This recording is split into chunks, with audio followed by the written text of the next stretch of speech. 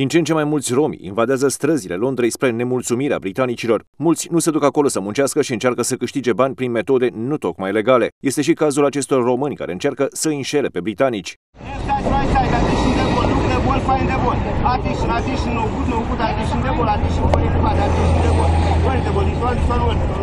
Și asta n-ar fi tot. Britanicii susțin că romii fac scandal și aruncă gunoaie pe străzi după lăsarea serii, pentru că aceste lucruri fac parte din moștenirea lor culturală.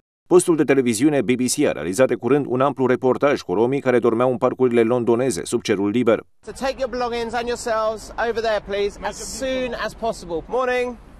Nick Ward, Westminster Council.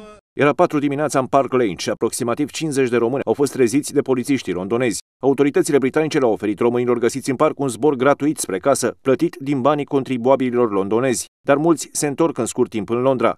Văzând că oficialii nu fac nimic pentru a-i apăra de romi, localnicii au decis să ia dreptatea în propriile mâini. Tocmai de aceea iese în număr mare pe străzi ca să îi pozeze sau să-i filmeze pe romii scandalagii, iar apoi să arate lumii întregi faptele surprinse.